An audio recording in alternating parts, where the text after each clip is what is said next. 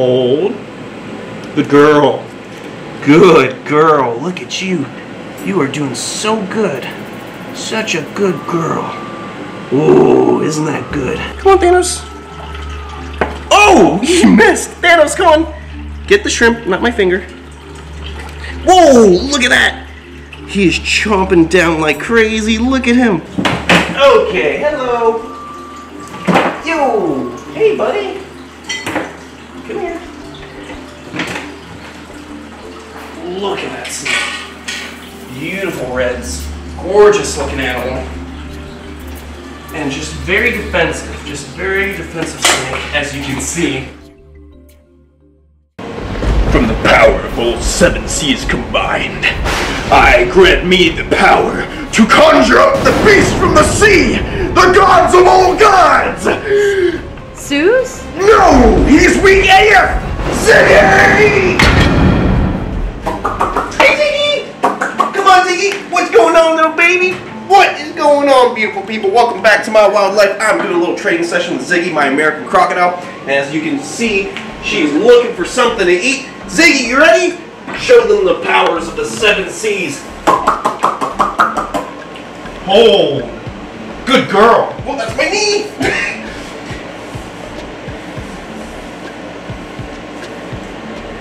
good job. Hold. Hold. Good girl. Good girl. You're being a little bit cocky today. So, let me just pet you a little bit. No food. No food. She's really warm right now. And as you guys know, when reptiles are nice and warm, they have lots of energy because they're basically like a solar panel. She's got lots of energy in her and she wants some food. Ready? Come on, Ziggy.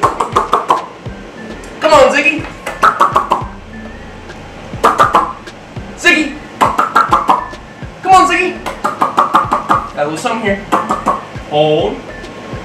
Good girl. Good girl. You're being so good. Now, see, she doesn't truck me over for food. She stops right before she gets to me because she knows that's a big no-no. You don't want her acting like that when she's 8 to 10 feet long and then in the future bigger than that. Come on, Ziggy. Hold. That's my knee. Good girl. No, that's my knee. Good girl. Over here. There. There. Good girl. Not me, the shrimp. We're, we're telling everyone you're training. Just go with it for at least the video. Afterwards, you can act however you want.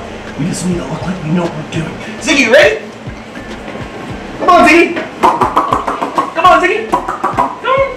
Come on. You silly little crack now. Hold. Good girl. Good girl. Hey. I love my crocodile. I'm really blessed to be in this situation.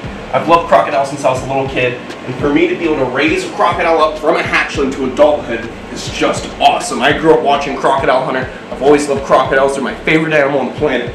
As you guys know, I have a crocodile tattooed on my skin, so I'm not kidding when I say I love crocodiles. You ready? Want some more? My lovely little crocodile? Come on. Come on. Ziggy. Ziggy! Ziggy! Come on, Ziggy! Hold. Hold. You ready? Good girl. Good girl. You are being such a sweet little girl. Look at you. You're so good. I can pet you all over. You're not acting like a crazy little crocodile, huh? Being good? Good girl. Look, she's like a cat. I, I pet her behind and she raises up. Oh, look at that. I'm going to squish you by your tail. Look at that big tail. Look at that big prehistoric tail. I always mention her tail because it's just like a mosasaur. She's a modern day dinosaur. I love her. Ziggy, where are you going? Come on, Ziggy. Come on. Hold. Hold. Good girl. Good girl. Look at you. You are doing so good. Such a good girl. All right, guys, we're going to put Ziggy back inside her water. There we go. Let her move on to catching some rays, digesting that shrimp. And she deserves maybe one more shrimp. Ziggy! Come on! Come on! Come on! Come on! Good girl! You're such a good girl! You're such a good girl! Grab me by your tail! I'm gonna chase you! I'm gonna chase you! All right, beautiful people, we're gonna head to the snake house because we've got lots of cleaning to do. We gotta take care of Kevin the King Cobra. We've gotta take care of the Egyptian cobras, and as you guys know, they don't mess around.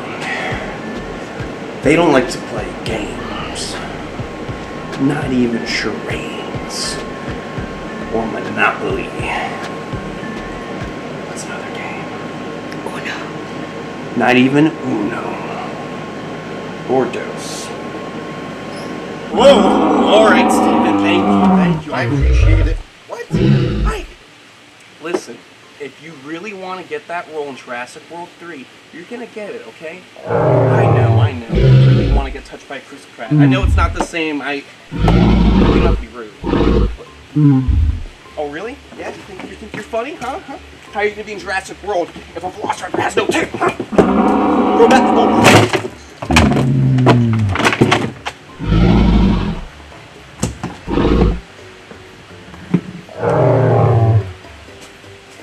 John Cena!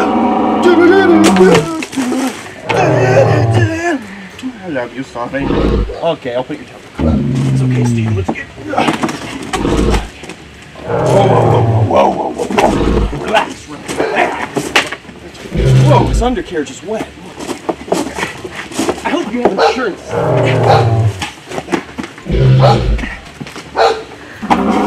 that Chris Pratt from Jurassic World? I'm trying. God. Oh my god. What is he doing? What is he doing? I'm not doing it. He's fine. He's my friend. You need to call 911. Oh my god. He's my friend. It's fine. I know. Picture before he gets Leave him alone! He came here together. He's just a raptor. We came here together. He knows it's fine. A good convention to take my clothes off. Not you again. What are you doing? Put on your clothes, dude. Oh my god! What is he doing to that lizard?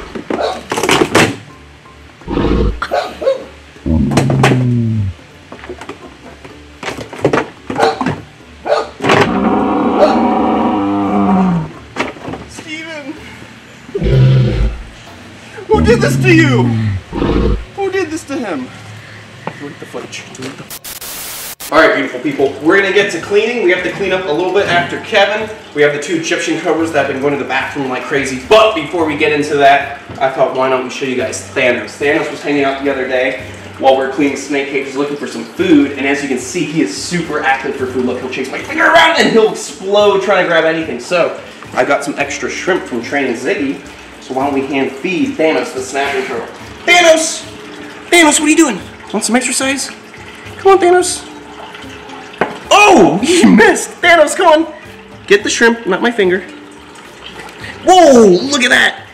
He is chomping down like crazy. Look at him. You eat it? And he's gonna run away. He is so strong. All right, he's in the corner right now. I'm gonna throw eh, probably one more shrimp in there. Nice, good meal.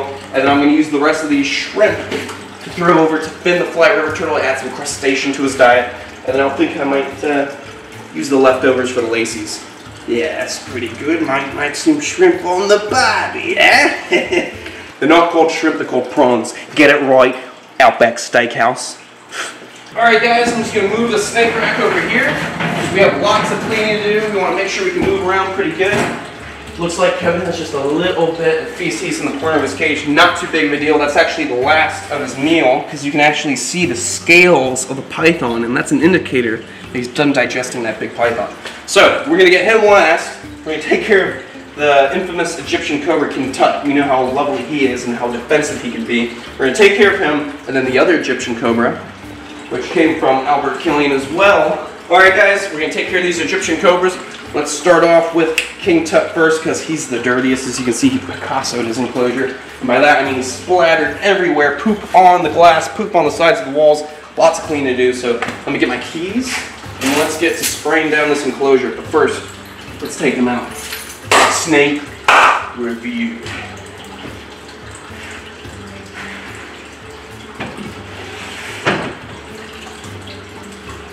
Hey, buddy. Oh, I'm not your buddy. He already bit himself. He's not having it. All right, what are you doing, dude? I'm gonna have to get you out. Okay. He's a little cranky, but that's okay, cause we still love him anyway. Ooh, he's getting big. Made the mistake not having this ready to go. But look at that, he is getting big. Look at this snake. Good size, great coloration, and he's still got that spunky personality he's had since I've gotten him about two years ago. Look at that. He is becoming a beast. Look at that. Beautiful animal. We want to get him into the enclosure because he is a wiry snake and we don't want to play with him too much because he doesn't like to handle. All right, good. Now we can clean his enclosure. And like I said, this enclosure is a catastrophe. Look at this. Poop everywhere, poop all over the walls. And this is a matter of, I don't know, like a two days or three days after cleaning his enclosure because you just give him a little bit of food and he processes that food and just like paint all over the place. So we're gonna want to give him fresh water. Oh, we we have a lot to clean. it's really all up in the walls. All right, guys, time to get deep. Let me grab all this poop just to begin with. Oh wow, there's a lot in here. I might want to actually just take all this mulch out, honestly, because this enclosure is pretty filthy. I think what I'll just do is take out a majority of this. There we go. Get all this out. Yeah, I think I'm just gonna do a deep clean because he pooped way more than I thought he did in the mulch. So let's get all this out. And I think we're gonna replace his bedding with aspen since this is a snake from a dry area. And that won't be an issue. Whew, this is stinky stuff. I've got the enclosure nice and cleaned up. I'm gonna change it up to aspen. Nice and dry. The species is not found in super humid areas, so it's not that big of a deal. So some nice aspen. Gonna dump that in here. There it is. And look, barely a mess. All right, guys, we're gonna put the hide back in. Good to go. Put this glass back, and then we're gonna take care of the water because the water is a bit dirty. So we're gonna want to dump that out. Put this glass back. And now it's a whole new world. Put my finger in my mouth. That's the poop. Let's look at the cage. A whole new world, things to explore. All right, guys, I'm gonna go get this bowl clean, get some fresh water, and we're gonna go put Mr. King Tut back. All right, guys, we got the water ready to go. So now we can put King Tut back, and I'm sure he's very excited to go back home. We're gonna bring him out now. Come here. Here, big snake. He's not too bad, but he is quite a dangerous snake. In a split second, he'll fly over his own body, and he would tag you if he got the chance. Good size. We're gonna have to upgrade him on his enclosure and get him to a four foot vision cage soon. Give him more space. But for now, this will do. He's definitely around six foot now. Whew. You happy? He's like, what's, what's, what, what'd you do with my poop? This is fantastic. You're welcome. Maybe you'll be a little nicer now. All right, guys. Next on the list, we're gonna be taking care of the other Egyptian cobra, the Ethiopian cobra that I got. And this snake, this snake's no joke. This snake literally hood up and fly out of the enclosure, break out of the substrate, shooting out bite. All right, guys, we're gonna be taking out this other Egyptian cobra. This animal is actually hiding right now. It hangs out basically underneath the substrate all the time. It never uses the actual hide I've got for it. I believe it's somewhere in this. Oh, it's not in that area. Nope, not there. All right, guys, the snake's actually over here on this side. Oh, he's under the wall. There we go. Okay, hello. Yo, hey, buddy. Come here. Look at that snake. Beautiful reds. Gorgeous looking animal. And just very defensive. Just very defensive snake, as you can see. Just wanting to hood up, show me who's bossing and get out of the way. But a beautiful snake. As you can see, look at that. The reds on that scalation is just incredible. He's not too bad. Starting to relax, but right out of the cage, this snake is very defensive. All right. There go. What a good looking snake. Look at that guy. Beautiful reds. All right, big snake. Let's get him in. Oh, hissing a whole lot. right in the bucket. We'll check him out after we clean the enclosure. Okay, so we've got bits of shed skin in here. Yeah, poop. But one of the biggest thing is, you need some water. This water bowl will dry now. So let's get this water taken care of. Let's get the skin taken out. I see some poop in the back. Not a problem. We can take care of it. All right, guys. We got some fresh water. The enclosure is good to go. We got nice and clean. So we can put back that snake. All right, guys. We're gonna put him back. Oh, I see you. You don't have to get too fussy with me. The hood on this snake's incredible. Super dark in comparison to the rest of the body. Come here. Don't be too upset. It's okay. Don't reverse on me like that. Come here.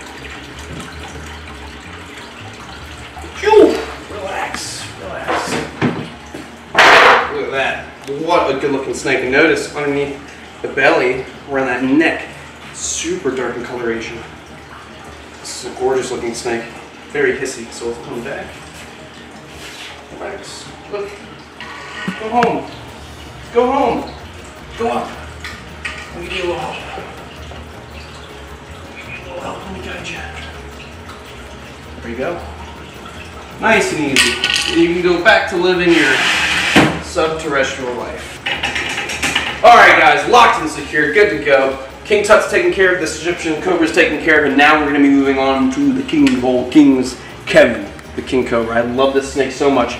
He has a little bit of minuscule poop as you saw in the beginning of this episode. Got to take it out so it's nice and clean. So let's take out the big boy and hang out quick for a bit. Make sure he has a nice, oh he's such a cutie. He's just sitting in the back right now. Let me get my keys ready and we'll take out the king of all kings. Alright, Kevin. I'm going to take you out now. Don't be upset. Don't be too upset.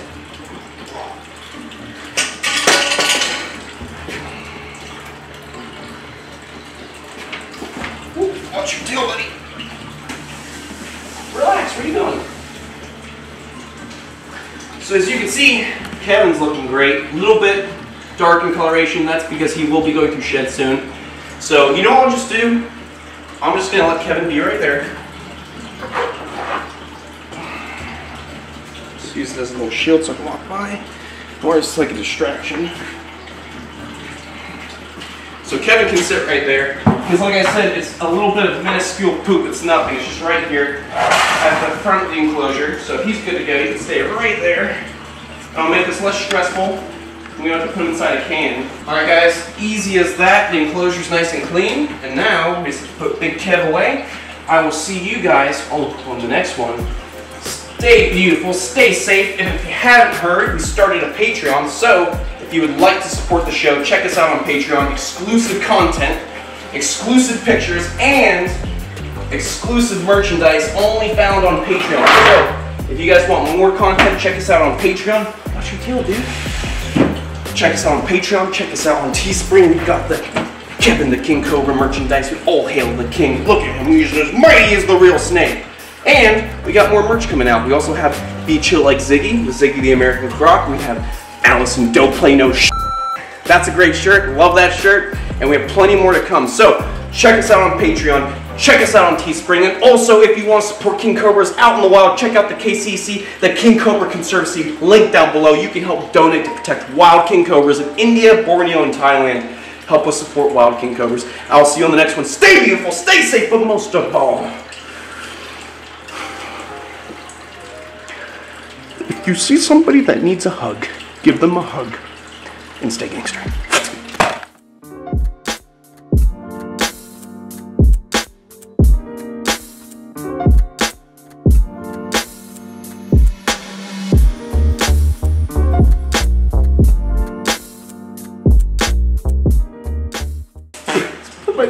My mouth, that's the poop